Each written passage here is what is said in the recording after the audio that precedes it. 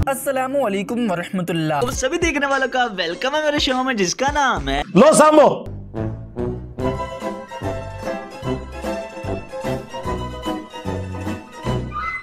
ਉਹ ਜੀ ਬਜ਼ੁਰਗ ਬਹੁਤ ਪਹੁੰਚੇ ਨੇ ਜੀ ਇਹ ਤੇ ਤੁਸੀਂ ਇਹ ਮੋਬਾਈਲ ਬਜ਼ੁਰਗ ਤੇ ਇੱਥੇ ਬੈਠੇ ਉੱਥੇ ਗੱਲ ਕਰ ਲੈਂਦੇ ਨੇ हजरत सैदना गौसे आजम बगदाद में बैठ के तकरीर फरमाते थे ਉਹ ਸਰ ਆਪ ਲੈ ਲੈ ਤੋਹਫਾ और मिस्र वाले मिस्र में बैठ के सुनते थे कहेंगे बुज़ुर्ग देखो कितने पहुँचे ने।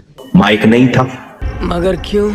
स्पीकर नहीं था एम्पलीफायर नहीं था वॉकी टॉकी कोई और सिस्टम नहीं था। क्या फ़ायदा ऐसी ज़िंदगी का? इससे तो मौत बेहतर है। रूहानियत का ये आलम कि आप अपने मेंबर पर हैं और पूरी दुनिया सुन रही है। सब फ्रॉड हो रहा है। इस तरीके से कुछ भी नहीं होता। लाख का मजमा आवाज़ फरमा रहे हैं तो हर एक को यूँ आवाज़ जा रही है जैसे उसके कान में बोल रहे हैं।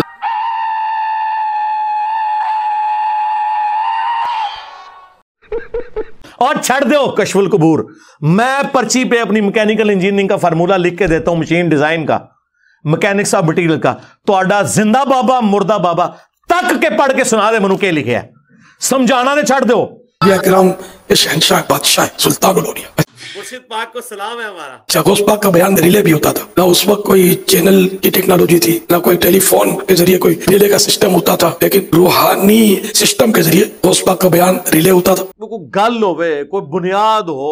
औलिया किराम अपनी खानकाओं में बैठ कर मुरीदों के साथ सुनते तो कहीं पहाड़ में गार में इबादत कर रहे तो वहाँ सुनते। इस तू वी चमला मैं मार सकना। अल्लाह फ़सल नाल तो ज़्यादा अकल है मेरे कि मैं इस तू वी चवल मार लवा। लेकिन वो जो निकलेगा के? रवलियात भी सुनती थी। सत्तर सत्तर हज़ार सेवेंटी थाउज़ेंड का लिखा है। इतने इतने बड़ा इज्तिमा होता था और माइक सिस्टम भी नहीं होता था उन दिनों। लाउड स्पीकर नहीं होता था। नहीं। लेकिन जो सामने बैठा है साफ़ आवाज़ सुन रहा है वही सबसे आखिर में बैठा हुआ भी साफ़ आवाज़ सुन लेता था।